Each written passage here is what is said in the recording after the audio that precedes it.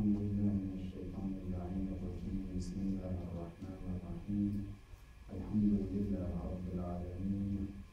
والصلاة والسلام على أشرف الأنبياء والمرسلين سيدي وحبيبي ونور قلبي وثمرة فؤادي أبي محمد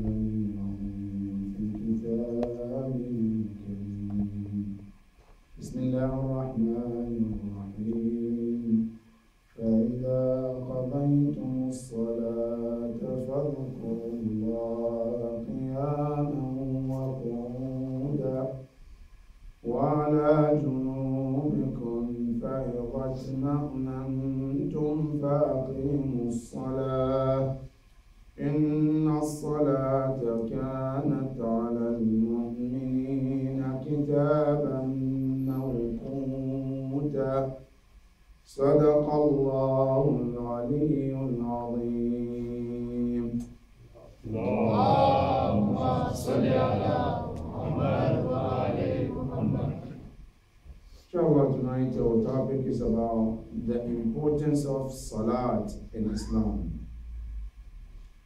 The ayah we just read is in Surah An-Nisa, the chapter of women, ayah 103, where Allah subhanahu wa ta'ala mentioned just the word Salat three times. And by the way, there is nowhere in the Quran where the word Salat is repeated three times other than this ayah and you can take a tour in the Quran. There is no place Allah ever talked about salat and mentioned the word as-salat in the Quran three times except this ayah. Allah subhanahu wa ta'ala is talking to the Prophet and all the companions who were with the Prophet, where he says, فَإِذَا قَضَيْتُمْ الصَّلَاةِ When you're done, Ya Rasulullah, with your prayers, فاذكروا الله الله أكبر Allah subhanahu wa ta'ala He wants to differentiate us with the other religions. Example like Christianity. Some Christians, or most of the Christians, their relationship with their God is once a week. And it's only when they are in church. Right? As long as you're in the building, you have to be careful. You're in front of God. But when you leave the church, you're free. Do whatever you want to do. Right? Meaning, your relationship with God is only within the four square of the building called church. But Allah subhanahu wa ta'ala say, no, my relationship with you as a Muslim, it doesn't end just because you finish your salah. No. فَإِذَا قَضَيْتُمُ الصَّلَاةِ فَاذْكُرُوا اللَّهِ Allah subhanahu wa ta'ala say, when you're done with your prayers, there is another responsibility. What is it? ذِكْرُ اللَّهِ To remember Allah. How should I remember Allah? Should I remember Him when I'm sitting? No. Allah said, فَاذْكُرُ اللَّهِ قِيَامًا If you are standing, Allah said, remember Him standing.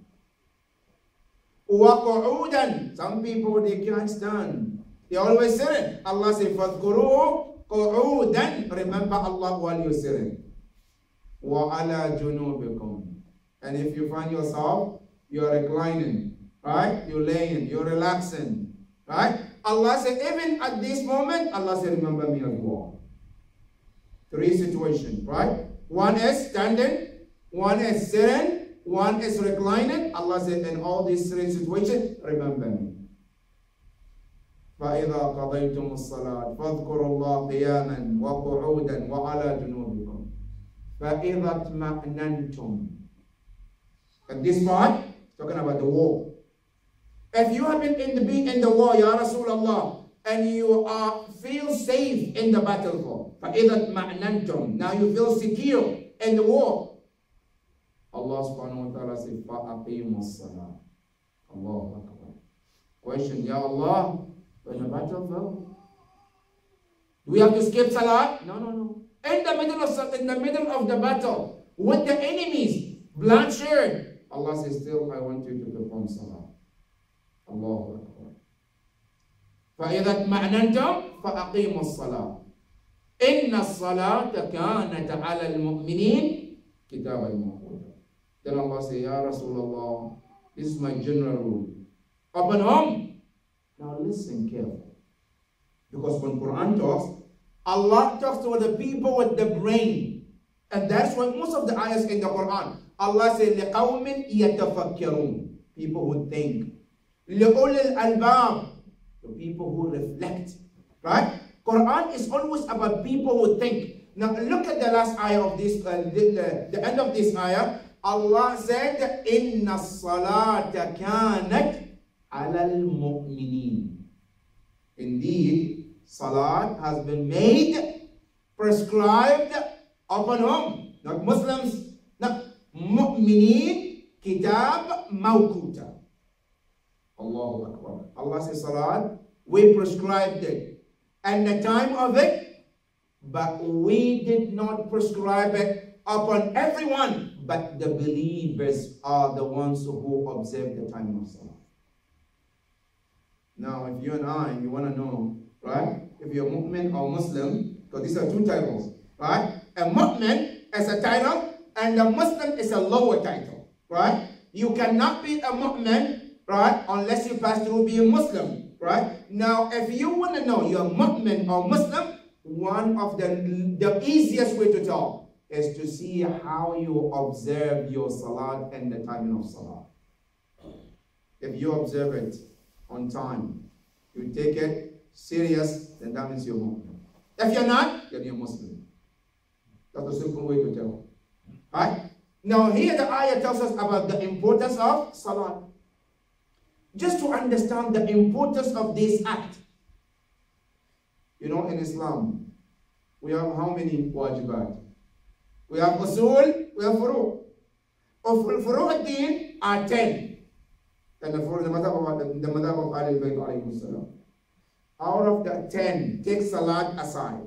Nine of them, nine of them, when Allah want to prescribe them, Allah sent Jabrail down. Ya Jabrail, go and tell the Prophet I prescribe fasting. How? From dawn to sunset. Tell Jabrail how to perform. Hajj, Allah to prescribe. He sent Jabrail down to tell Rasulullah how to perform a Hajj from this place to that place. That's what you do. Every wajib, other than the salat, Allah sent Jabrail down to teach him. Until the turn came to salat. You know what Allah said to Jabrail? Akbar. Ya Jabrail, there is something super, super special. That then, I want to prescribe it upon the Prophet, but you, Jabrail, you cannot take it to the Prophet. It's so special. I can't give it to go to give it to the Prophet. You know, sometimes you can send your child to your friend, right? Give him something, no deal. But if you have a lot of cash, do you give it to your little baby to go and take to take it someone? No. You have gold, something valuable, do you give to everybody? No, no, no. Allah wants to prescribe salah. He said to Jabrail, Ya Jabrail, there is something valuable. That valuable, you cannot take it to Rasulullah. Jabrail asked, Ya Allah, what should I do? Allah said, Ya Jabrail, I want you to go and take my messenger and bring him to me, and I will deliver it to him myself. Allah. Jabrail left where? And you know the station of Jabrail is called Sidrat al-Muntaha. Right? He left his position. And then he comes to the seventh, then the sixth, then the fifth, then the fourth, then the third, then the second, then the first heaven, then came to the earth, and he came and met Rasulullah was laying down next to the camel. Ya Rasulullah, I'm here to visit you. The Prophet asked him, why this time, Ya Jabrail? He said, I'm here to take you somewhere, Ya Rasulullah. Where is it at this time of night? I said, Allah wants to meet you, Ya Rasulullah. The Prophet said, okay. The Prophet went home, got ready, came out. There is an animal called Al-Buraq. Right? Looks like a horse, but with the wings. The Prophet came. Jabrail said, Ya Rasulullah, sit. The Prophet said, no, Ya, Rasul, ya Jabrail, you sit first. Allah Akbar. Look at the respect, adab. The angel, how does he treat the Prophet? He said, No, Ya Rasulullah, you sit first. I can sit until you sit. The Prophet said. Then he turned and said, Ya Rasulullah, do you give me permission to ride this horse for you? Allah Akbar. The Prophet said, Go ahead. The journey started from where? From Mecca to where? Then they start at Bayt al-Maqdis. They pause there, which is called today transit. Right? The trip is not over, just a transit. They stop there, they did dua. Right? After the dua, Jibreel said, Ya Rasulullah, now we go into the heaven. They took the Prophet from Bayt al-Maqdis to the first heaven. He met all the malaika, the angels over there. After that, then he took him to the second. He met all the angels, and every angel, they get all honored to see Rasulullah. They talk to the Prophet. What a man. Allah never created a man like Rasulullah. Then from the second to the third, to the fourth, to the fifth, until they get to the seventh heaven. Right? The seventh heaven, they continue to the position where Jibreel stops. And he said to Rasulullah, Ya Rasulullah, taqaddam. Ya Rasulullah, continue. The journey is over for me. But the journey is not over for you. Then the Prophet turned and said, Ya Jabra'il, afi mithli hadha al-mawda' tatrukum. Why are you leaving me at this point? The journey started together. Remember, Bayt al-Maqdis, uh, from Mecca to Bayt al-Maqdis, to first heaven, up to this point. Why are you leaving me, Ya Rasulullah? Then Jabra'il said, Ya Rasulullah, let me tell you something. لقد بلغت مبلغا you have reached the position لن يبلغه أحد قبلك لم يبلغه أحد قبلك ولن يبلغه أحد You have reached your point. No man, since Allah created the mankind, no man ever reached this point, and no man will reach this point after you. You are the first and last. Continue, Ya Rasulullah. The Prophet still insists, Ya Jabra'il, please come with me. He said, Ya Rasulullah, if I take one step, one, not two, one step ahead, I said, I will burn to ashes. That's it, Ya Rasulullah. But you can continue. The Prophet said, goodbye, but I'll see you when I get back. Right? Hey, continue the journey. The journey continue with Rasulullah until where Quran tells about how the journey was in Surah Al-Najm. ثم دنا فتدلى فكان قاب قوسين أو أدنى الله أكبر Now, it's not Jibreel telling us. No, Allah is telling about how the journey of the Prophet was. What happened? ثم دنا Allah said he came closer. How closer? فتدلى and he became even closer. Right? فكان قاب قوسين الله أكبر. So the distance was like the distance of an arrow or a bow, the Quran says. Allah. That's the distance. Now, what did he see? Quran says, لَقَدْ رَأَى مِنْ آيَةِ رَبِّهِ الْكُبْرَى He saw the biggest miracle and the biggest sign of Allah subhanahu wa When he got to that point, Allahu Akbar. Allah subhanahu wa ta'ala said to the Prophet, now listen carefully, because this is about salat. The first time the Prophet got to that point and that close, then Allah said to the Prophet, Assalamu alayka ayyuhan nabiyyu wa rahmatullahi wa barakatuh. And you say that in your namaz, don't you? Uh, this is from Allah subhanahu wa ta'ala. Right? Then after that, the entire angels, they were listening. They also said, Assalamu alayna wa ala ibadillahi salihin. Allah told uh, the Prophet, Ya Rasulullah, I brought you all the way to this point for one thing. What is it? So I can deliver to you this salat. Ya Rasulullah, take it. And this is salat that I prescribe upon you and your ummah five daily prayers. Allahu Akbar. The Prophet took the salat and came down to us and today that salat is not important to us. If your father or my father go to Karbala and bring you something valuable, how do you treat that valuable thing? The Karbala is a holy place. We respect it. Everything that comes there is something that we respect. Right? Now, if Rasulullah goes to Allah and brings you salat and you don't take that salat important, what makes you inside of Allah subhanahu wa ta'ala? That is one about the importance of salat. Number two, you know in Islam, brothers and sisters, if a person cannot fast in the month of Ramadan because they're traveling or they're sick, what is the rule? Right? Allah subhanahu wa ta'ala says, I don't want you to fast. فَمَنْ كَانَ مِنْكُمْ مَرِيضًا أَوْ عَلَى سَفَرٍ فَعِدَّةٌ مِّنْ أَيَّامٍ أُخَرٍ If you are sick or you're traveling, Allah says fasting is not wajib upon you. Hajj, I can't afford it. I don't have enough money. Allah says it's not wajib. Don't worry about it. Right? That's Hajj. Zakat, I don't have money. Allah says don't worry about it. Khums, Allah said if you don't have it, don't worry about it. Salat, is it the same thing? No. Now listen to the fact. I'm taking you on to the fact. In fact, they said, if you have a water, your responsibility is wudu. You do wudu. If you don't have water, can I skip one salah? No, no, no, no. I say for Then the rule changes to what? Tayammum. Now I don't have anything to do with the tayammum. Ya Allah, can I skip salah? No, no, no, no.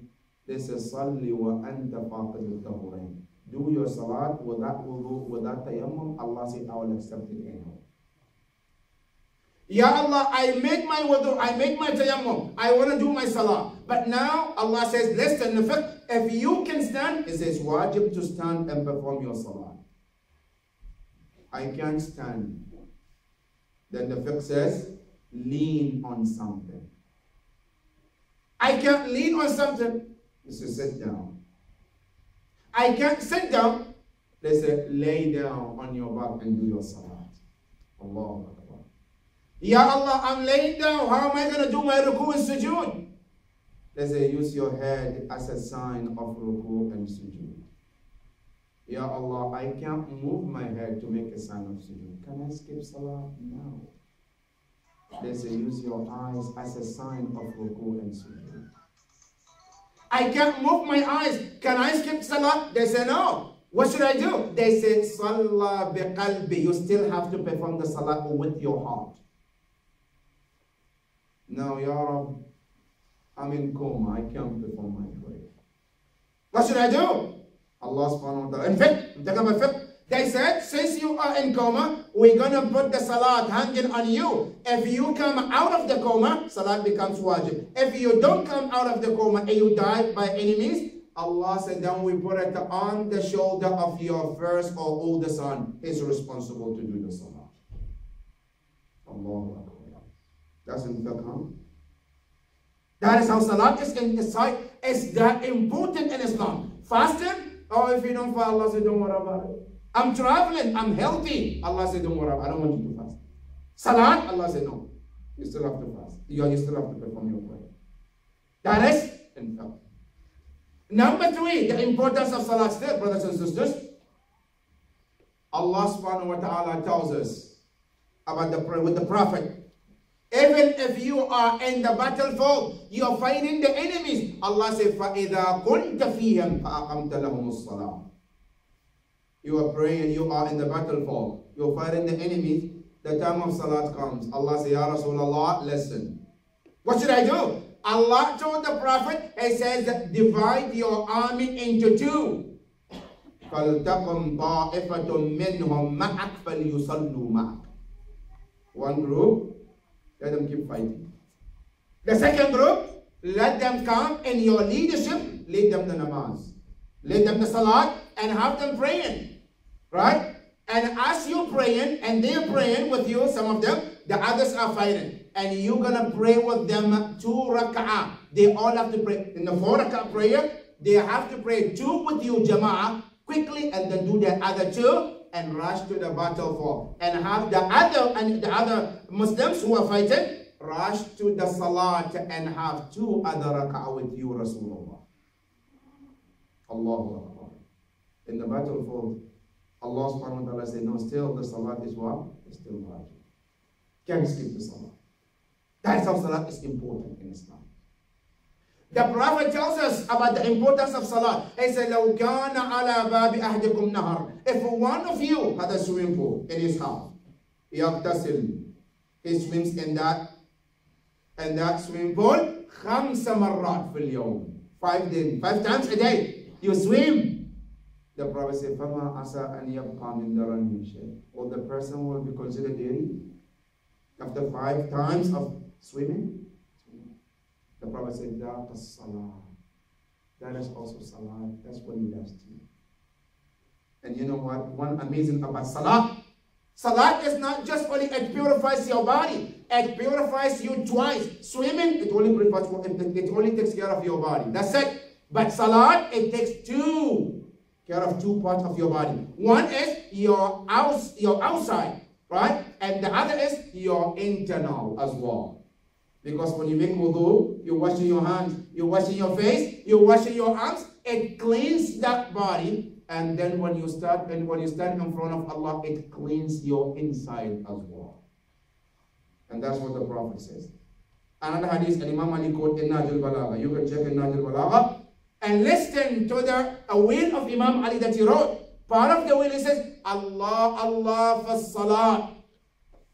He said, You, my children, Imam Hassan and Hussein, and the rest of you, and those who may heard this message from Imam Ali, I said, do not play with your salat.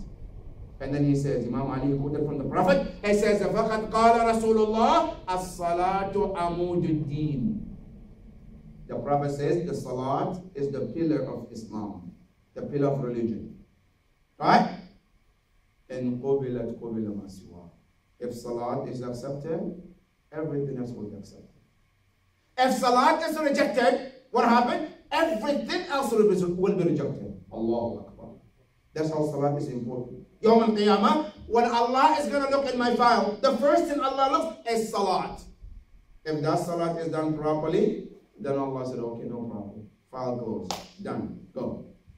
But if the salat has a problem, Allah said, no. We're going to check your fasting, your heart, your zakat. That is Yawm al-Qiyamah. Now, not only that, another hadith the Prophet said, أول ما يسأل العبد يوم القيامة the first thing we will be questioned in the grave. The first thing. When the munkar and nakir, right? You know, when we were brought and we land in that airport. You know that airport? The airport we're talking about. The airport, the cemetery. That's the airport. Right? Because when we die, we get carried. Don't we get carried? Huh? It's like you're on the plane. Now you land in that cemetery you go through that security, right? And there are two, two security guards. Allah already put them there. You can't see them. They're already waiting, right? Like in an airport, you can't go and let the security guard, they check you, right? You have to check and make sure that you don't carry any bomb. Then they let you in, right? Huh. Allah puts two security guards in that hole. Nobody sees them except the deceased, right? As soon as we cover the person, we go, then they tap him from the back. Yeah, Abdullah. He turns and he sees them your security guard. Salat, give us your passport. Salat is your passport, right? At the immigration officer, the first is the passport. Then they look, the picture. Is your picture? Yes, yes, okay. Your visa, everything correct? They stop, they say, welcome in, enjoy your stay. Right? And that person, when you come in, that immigration officer, they're there, right? And they have four names. Two of them, if you're good, two of them, if you're bad. If the disease is bad, they call them munkarun wa nakir. If the person, the disease is bad, then those who come, the immigration officers, they call munkar. If the person is a mu'min, God-fearing person, then they call bashir wa mubashir. When they come, they ask you, we want to see your passport. The passport is what? As-salat. When they check your salat, your wudu is fine, you're standing towards Allah, the Qibla is fine, your recitation is good, your ruku is good, your sujood is good, the, everything is good, then I say, good enough. Don't you want to see my fasting? Don't you want to see my zakat? No, no, we don't want to see. Why? Because salat is true. It tells us that everything is taken care of. But if they check and the salat is not done properly, then they say, no, no, let's check your fasting. Let's check your hajj. Let's check your other things. Then everything will be checked after that. Because salat is not done properly. That is the importance of salat in Islam. The Islam emphasized on salah more than anything. And here, brothers and sisters, you know, in Islam, there is something called Muqim salah, a person who takes salat so serious and he performs the salat on time. And then there are people now who take salat lightly. They might pray today, they might skip salat for another six months and another six months. Let me share with you hadith from Zahra alayhi salam. When she asked her father, Ya Rasulullah, we are one day Zahra is asking her father, Ya Rasulullah, ma liman tahawana bi Tell me, what is the punishment of a person who takes his salats lightly? We're not talking about the one who doesn't pray, because the one who doesn't, who doesn't pray at all, their punishment is different. And Quran mentioned that, right? And one of the surahs, Allah subhanahu wa ta'ala says, قالوا ما سلككم في سقر قالوا لم نكن من المصلين ولم نكن نطعم المسكين وكنا نخوض مع الخائضين وكنا نكذب بيوم الدين Allah subhanahu wa ta'ala tells us people who don't pray their punishment is one level of hellfire and it's called saqar and you know hell, hellfire is not the same level depending on the actions right the same way heaven also is not the same. And they come in different level. Hellfire, we have a hutama, we have ladha, we have saqar, we have sa'ir, we have jahannam. Right? All of them, they're different. Right? Now, a saqar is for those who don't, who don't pray at all. Now, when you go to the Quran, Allah tells you about what the saqar is. Saqar, la tubki wa la Now, this Zahra alayhi salam, she asked the Prophet, Ya Rasulullah, what is the punishment of a person who doesn't take their salah seriously? Zahra alayhi salam, when she posted this question, our Prophet answered, Ya Zahra, any person who does not take their salat seriously, ibtalahu Allah, Allah will punish the person 15 punishment. 15 and I want you and I to listen careful. 15 punishment, six of them in this world. Six before the death Three at the time of death. The other three after death. And the other three on the day of judgment. Allah Akbar. Now what are the six that Allah is going to punish? Allah is going to punish the person in this world. Number one, I said, Amma sit. The first six in this world as يرفع الله البركة من عمره the entire life of that person Allah takes the blessing from it the person lives a life no blessing in that life. Allah. That's the first punishment for not doing salat. A person lives a life Allah said there is no blessing in their life whatsoever. And what does it mean no barakah in that person's life what, does, what do we mean when we say there is no barakah? There is no barakah means it has there are so many meanings. One meaning is the person might have everything in this world, but they are lacking something called peace of mind. There's no barakah in life. That is one of the things He can be the richest person in the world, but they are lacking something called peace of mind. That is one. The first one, Allah takes barakah from their life. Number two, وَيَرْفَعِ اللَّهُ الْبَرَكَةَ مِنْ رِزْقِهِ Allah takes blessings from the person's sustenance. They have rizq, but there's no barakah in that. You know, sometimes a person, they have all money that you can think of.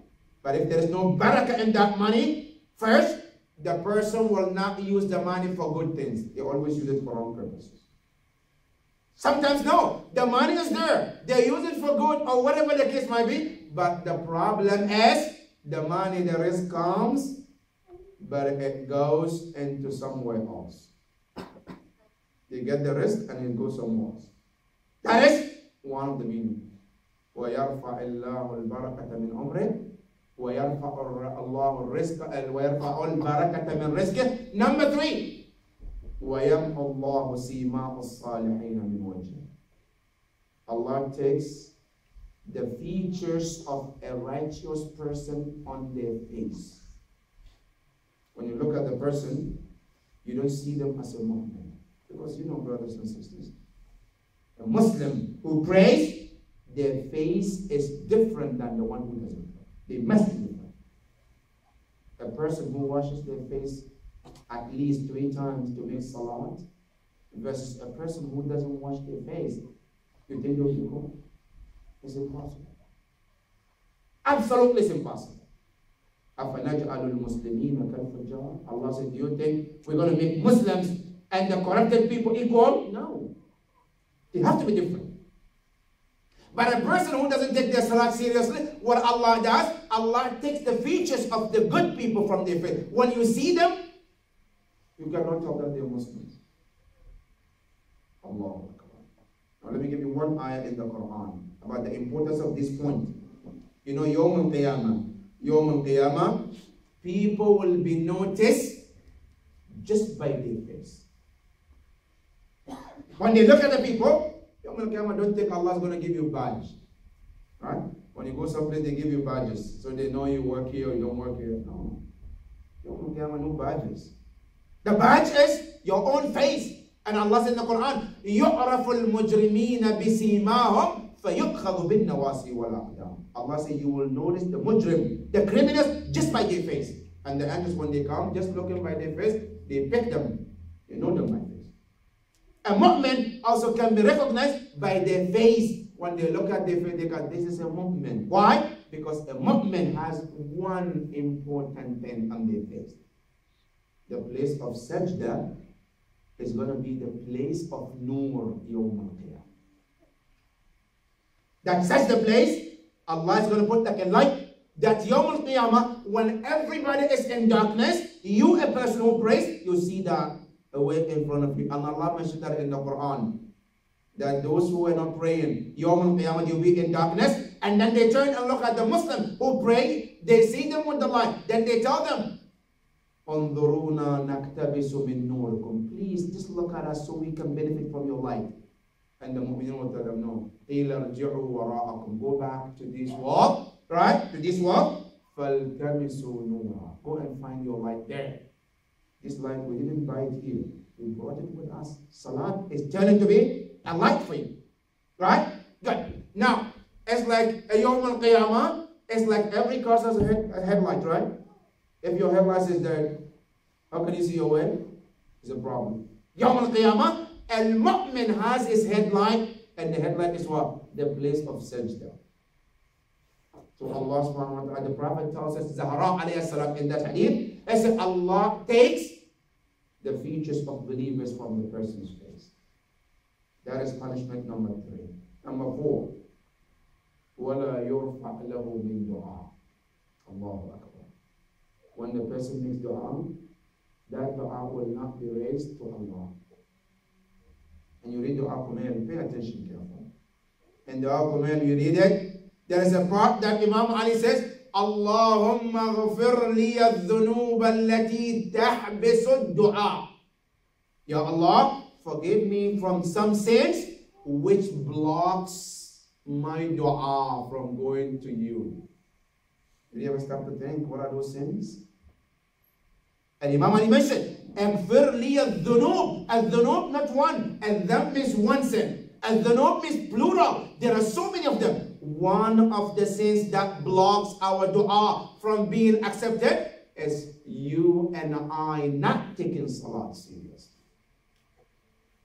and let this be our take home message if you ever one point you ask Allah something it never happened go back and check your salat if my salat is not done properly that is one of the blockage. Ah, it blocks. Allahumma gfir li al-dhunub allati tahbisu dua That is number four. وَلَا يُرْفَعُ لَهُ مِنْ دُعَى And one of the dua from Imam in Mafatih al-Jinan also. After Salat, I think, Dhuhr or Asr, after that Salat, there is a dua from Imam. Allahumma inni a'udhu bika min du'a'in la yusma. Dua I call that nobody hears. You know, one of the reasons why somebody's been calling, Ya Allah, Ya Allah, but there, nobody hears this call. One of the reasons if, if a person doesn't take their salah seriously. That is number four. Number five. وكل عمل يعمله لا يؤجر عليه. Every deed the person performs will not be accepted. If my salat is not done, I don't take my salat seriously, doesn't matter. You give charity in this world, Allah says, okay. There's no reward for it. The reward is only when you are when you are performing salah. In other words, the people who work in the bank can understand this. You know, in the banking system, when you go to a bank to deposit a cash or a check, the first thing they ask you is what? Your account number, right? So they can deposit in that account. If you tell them, I don't have an account, what do they tell you? We can't deposit it. You have to take your money back. You have to give us an account so we can deposit it in your account. Now, a person who doesn't pray or who doesn't perform salah, his account is closed with Allah subhanahu wa ta'ala. He goes and bears a, a, a masjid. I said, I bought the masjid. Allah said, okay, you know, where, where am I going to deposit? Your, your account is blocked. You don't, you don't have an account with Allah subhanahu wa ta'ala. That's why the Prophet says, وَكُلُّ عَمَلٍ يَعْمَلْ Every deed that the person performs, لا يؤجر عليه. The person will not be rewarded for that. That's it.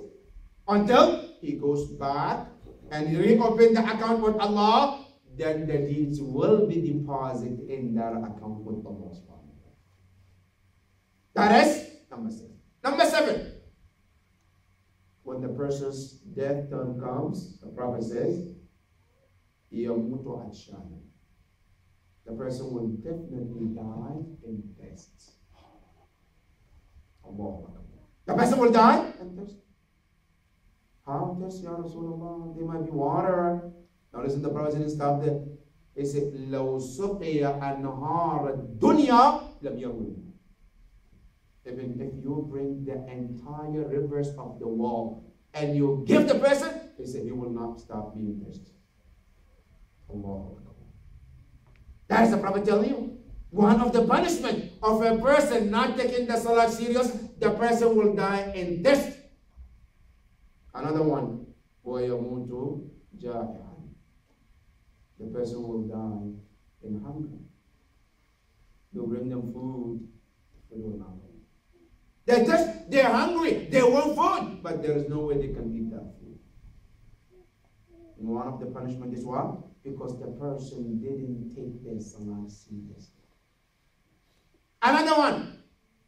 وَيَمُوتُ ذَلِيلًا Allah Akbar. Allah, forget about the first two, huh? Even the third one is enough. The person dies in the humiliation, in disgrace, disrespect. You know, we have two kinds of death. There's one is called a death with the honor with respect and dignity. And there is one death you say, I don't want to die like this. Don't we say, live like Ali and die like Hussein? Okay, the Imam Hussein is not the only one who died, right? There's so many people who died. Why don't you ask to die like them? Why this death? Because this is a death with dignity and respect. There are a lot of people who die and say, ah, oh, I don't want to die this death. Even they go by death. But one of them with the higher and respect, and the other one with humiliation. Now the prophet said, a person who doesn't take their salah seriously, when the time of death comes, they will die in disrespectful manner, disgrace because they did not respect Allah and they did not take His salah seriously. That is the three before the death. Another three after death in the grave. Amma salah al As for the three in the grave, it says,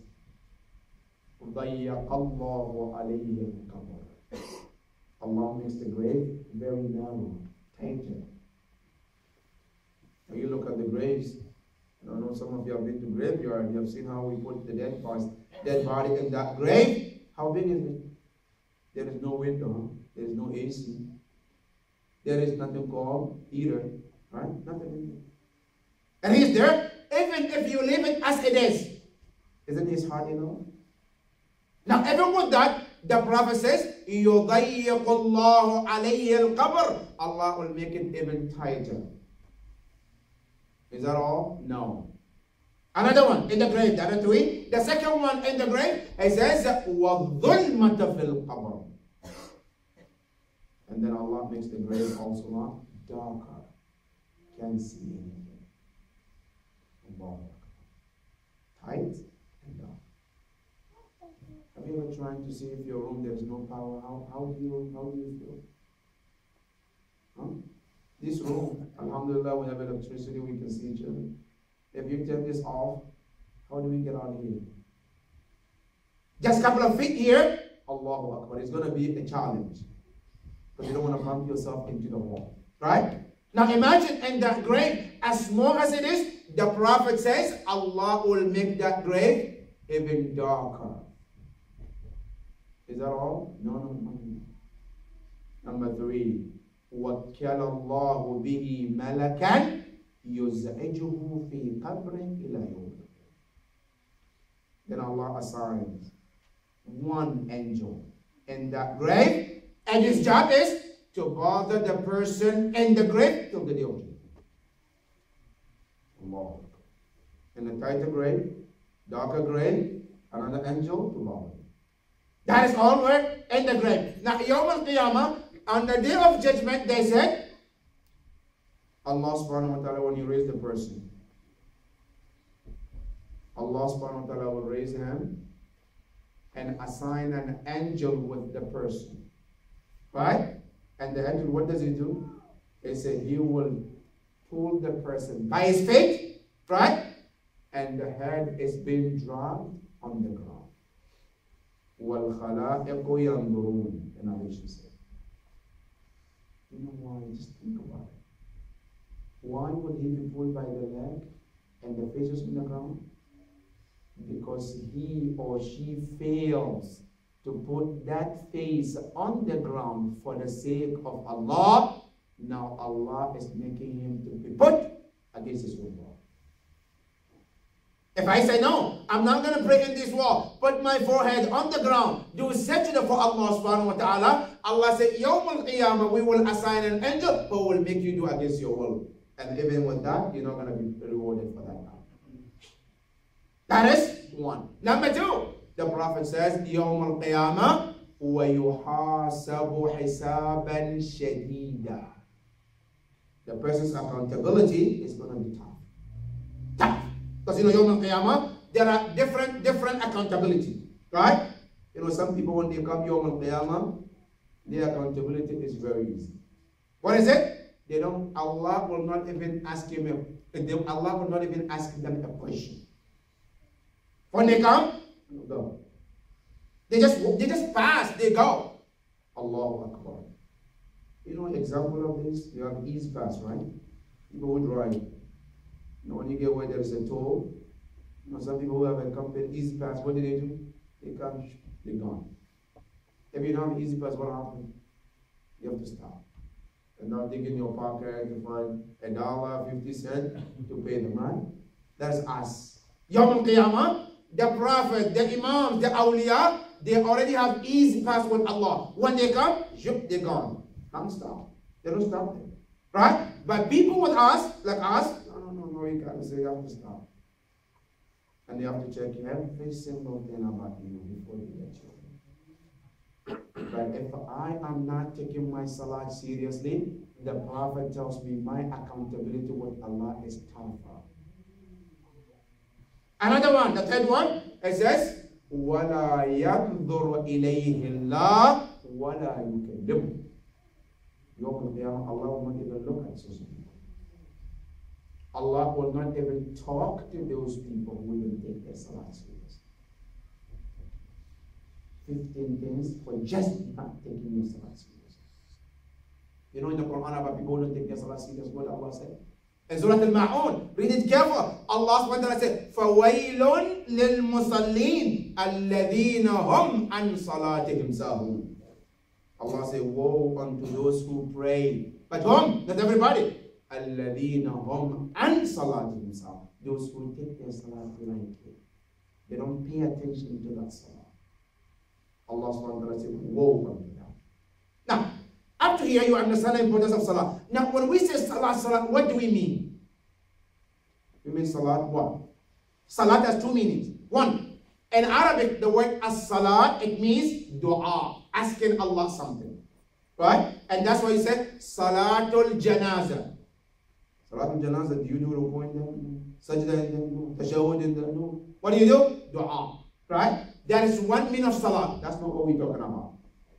There is another one called as-salat, which means, uh, which means performing prayer, or which, in other words, if I want to put you in, in, in I'll give you another definition, meaning to connect with Allah subhanahu wa ta'ala.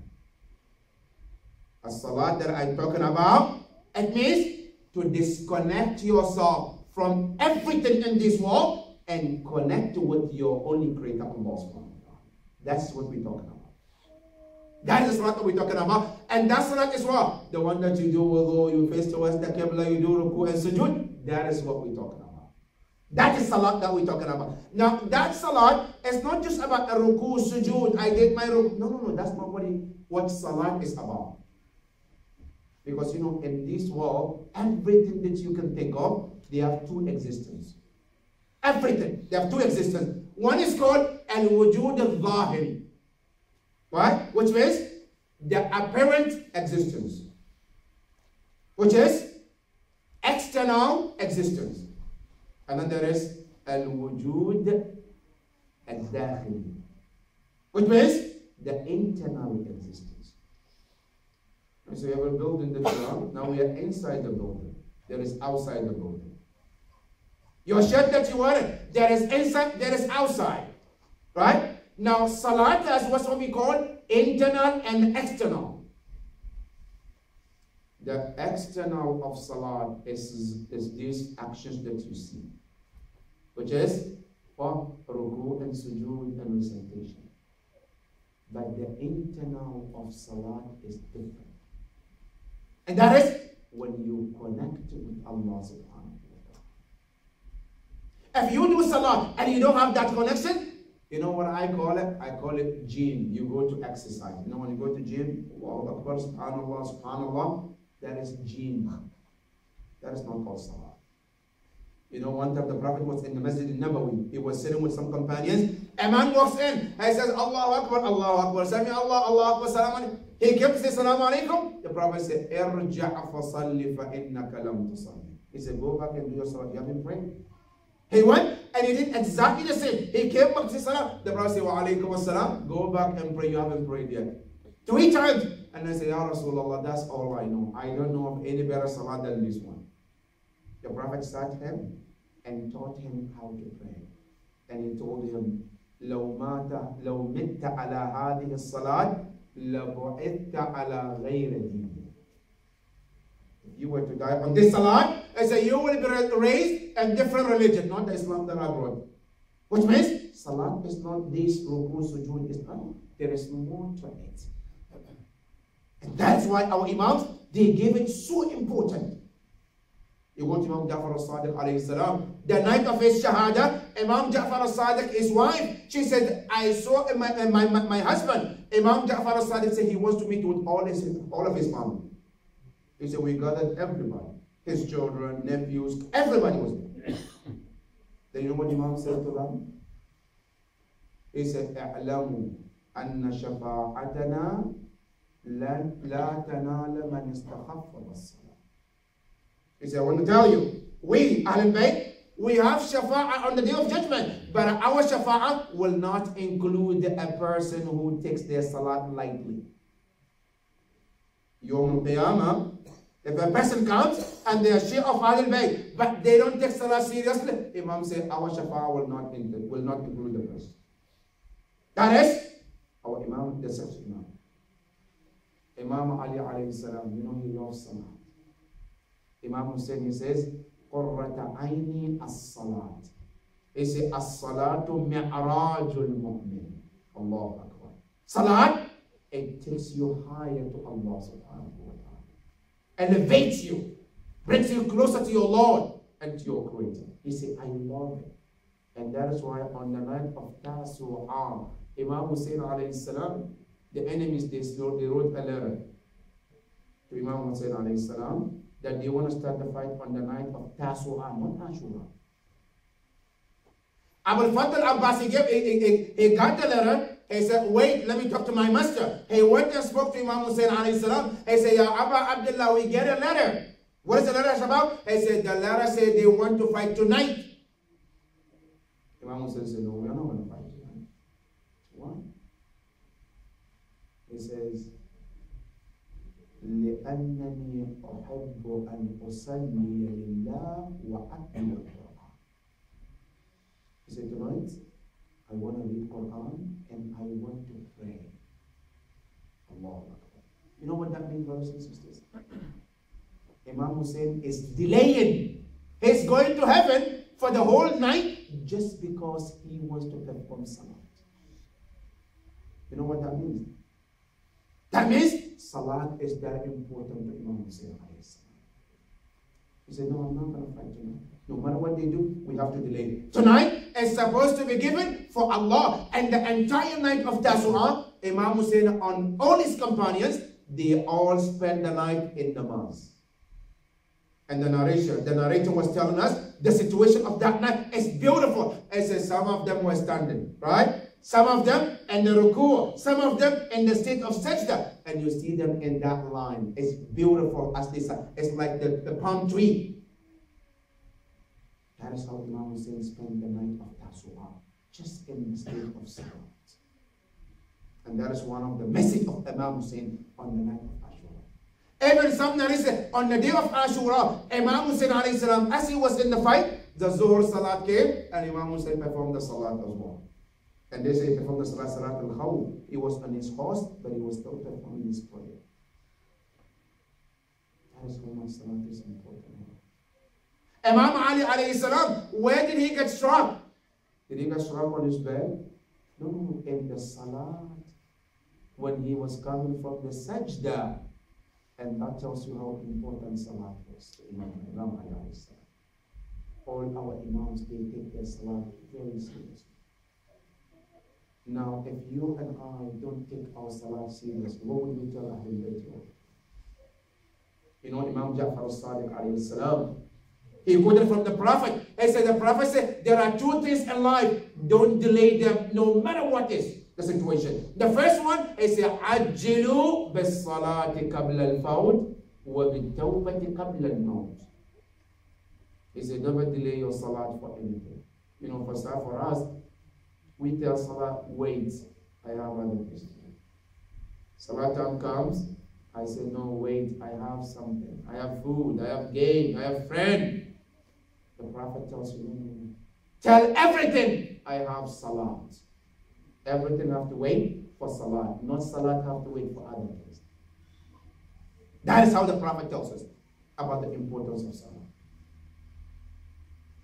One of the companions of the Prophet who knew what the salat was, and it's called Allahu Akbar. This companion, he was with the Bilal al-Habashi.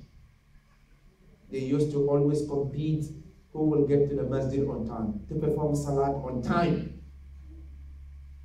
What happened? One day this man, he was paralyzed. Half of him was paralyzed. He couldn't walk. Bilal al-Habashi went to the masjid. He was calling adhan. Allahu Akbar, Allahu Akbar. Ashhadu an la ilaha illallah. Ashhadu anna Muhammadan Rasulullah. Ashhadu anna Aliyan waliyullah. Hayya ala salat. He heard it, he's paralyzed. He stood up. He got himself ready. Going where? To the masjid. Allahu Akbar. And he was leaning on the walls to go to the masjid. He came, to the masjid. Bilal al-Habashi asked him, he said, Ya, he called him, he says, I know you have an excuse. Good excuse in the sight of Allah. You're sick, you're paralyzed. You can pray at home. He said, Yes, I know. But Bilal, how can I stay home when I heard you calling the entire world Hayya ala Salah? come to salah. Say, not just that. Hayya ala falah. Come to the success. So not just that. Then you added the hayya ala khayril amal. Come to the best deed. Meaning, in Islam, there is no deed which is above Islam, uh, uh, which is above Salah. He said, when I heard you saying hayya ala khayril amal, I said, I can't stay home when you are calling us to best. So I have to come to the best no, is anybody like us? Anybody among us is like this man? Who hears Hayya ala khair al-amal and leaves everything to rush to the salah? Oh, we are the people we hear Hayya ala salat. If you have, mashallah, inshallah, not you, some of those who don't pray, they hear Hayya ala khair al-amal and they try to silence the muaddin. Right? Because I need to sleep more. Because I have something important than the salah. Right? Now let me tell you what are the benefit of salat. The benefit of salat in this world. Number one, Quran tells us about the benefit of salah. When a person performs salah in the way Allah wants, the first benefit Quran says, Inna salata tanha anil fahsha'i wal munkar. Salat, what it does, it prevents you and I from all the bad things. Allah. You know what that means? a person who performs salat properly, shaitan cannot misguide the person. They're always on top of the shaitan. They always and, and, they're always alert. The shaitan, whatever he wants to attack, they always know and they prevent that. And the salat is what can give you that. That's number one. Number two, the benefit of salat is Allah, Allahu Akbar. The benefit of salat from imams they said that Salah teaches you also to be honest. How? Because they said, when you stand in front of Allah, you know He knows everything about you. Things that are hidden and things that are not hidden. Are you going to lie with somebody who knows everything about you? No. So Salat makes you to be honest with your Lord. It helps you to become open to your Lord. And that is one of the benefits of Salah. Number three, one of the benefits of Salah, it teaches you humbleness. humbleness? Yes. How? A person who puts his forehead on the ground at least five times a day. Right? Allah, they're always humble. Because it teaches them they are nothing because you put the most precious part of your body, which is your face, on the least thing on the earth, which is the earth. To show that I'm nothing in front of Allah subhanahu wa ta'ala. That is number three. Number four, Salat teaches you that life is not about this world. There is another life after this which is more important. Which is you when you put your ground your face on the ground twice. You know what it is? Why do we do sajda twice? The first one is to confirm that I am created from this dirt. Minha khalaqnakum. I'm from this dirt. The second sajda, you tell him, and into it I shall go back Right? And the third one, when you come up, it means and I will come out of this on the day of judgment. منها خلقناكم وفيها نعيدكم ومنها نخرجكم تارة So Salah teaches you to be humble in the sight of Allah And you see the companions of Imams, they always people who perform their prayers. They took their Salah very seriously. One of them is Zuhair ibn al-Qayn one of the most dedicated companions of Imam Hussein. This Zuhair, he was very close to Imam Hussein. They used to play together. They also at the same age. And he used to love Imam Hussein so much when they were young. To the point when Imam Hussein is walking, he always take the footprint of Imam Hussein. And he would put it on his head, on his face. One time the Prophet saw him. He was picking Imam Hussein's footprint. The Prophet called him, Ya Zuhair, what are you doing? I said, I saw the footprint of Imam Hussein I was playing. The Prophet looked at him and he said, Come closer, Ya Zuhair. Zuhair came closer. He put his hand on his chest. And he made dua for him. And one of the most important part of the dua is Allahumma rzuqhu shahadata ma'al Hussein. Allah grant him the tawfiq so he become a martyr with Hussein alayhi salam. Well, look at this dua when they were young. When Imam Hussein decided to leave to and go to Karbala, Imam Hussein suddenly he thought about Zuhair. He sent one of his companions to call Zuhair. Zuhair was eating with his wife. The messenger came and said, Ya Zuhair, Imam Hussein wants to see you. Zuhair said, Why Imam Hussein wants to see me? He went to Imam Hussein alayhi salam. Imam Hussein told him, Ya Zuhair, I want you to come with me to Karbala. He said, okay. He went back home to get himself, himself ready. By the time he came, his wife was waiting for him to finish the food. His wife looked at him and said, Ya Zuhair, I saw your face have changed. When you left, you were laughing, you were calm, but now I saw your face have changed. He said, Yes, it was my decision I've changed too. What is your decision? He said, I made my decision that I want to go to Imam Hussein. And I decided I want you to go back home to your family. You know what his wife said? Allah. The wife of Zuhair. She stood, she was standing next to her husband and she was crying. And she said to him, she said, Ya Zuhair, he said, are you allowing yourself to go with Hussein and you're not allowing me to go with Zainab? Why in the world that you want to go with Hussein and you don't want me to go with Zainab? He said, I want you, the way you made decision to go with Hussein. He said, I made my decision, I'll go with Zainab. He said, then let's go. Allah. He packed himself, he went with Hussein alayhi salam. Zuhair ibn al-Qayn was the man on the night of Tasu'ah when Imam Hussein was telling them to leave. He was the one who stood and said, Yabna Rasulillah, why should we leave you? What would we what would we tell the Prophet on the day of judgment? And he said to Imam Hussein, Wallahi law uqtal wa uhya wa uqtal wa uhya sab'ina marra ma taraktu. He said, if I will be killed and be brought back to life 70 times, I will not leave you. كيف والموت واحد and how when I know that the death is just one time.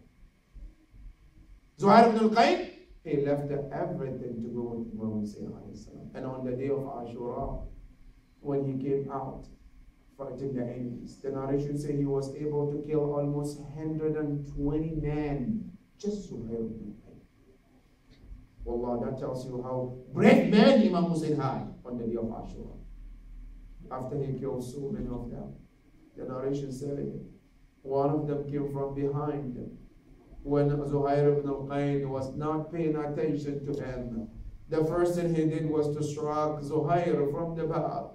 Zuhair turned to reach him. Another man came also from behind, struck Zuhair as well the second time. Then Zuhair was between the two. One of them struck him from the back, the other one struck him from the front. Zuhair ibn al-Qayn then fell on the ground. And he said, Assalamu alayka ya Aba Abdullah.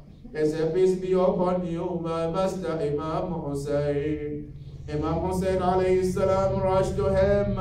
He got to Zuhair, but by the time Imam Hussein got to him, Zuhair was already dead, he was already killed. Imam Hussein alayhi salam sat next to him and he did aza as he does with every shaheed. He cried and he said, Ya Zuhair, la'an Allah qatili. May Allah curse those who killed you. The way Allah cursed those who he turned to monkeys. May Allah curse them the same way. Allahu Akbar. Imam Hussein alayhi salam. Cried for killing of Zuhair ibn al-Qayn. Inna lillah وإنا إليه راجعون وسيعلم الذين ظلموا أي منقلب ينقلبون والعاقبة للمتقين يا حسين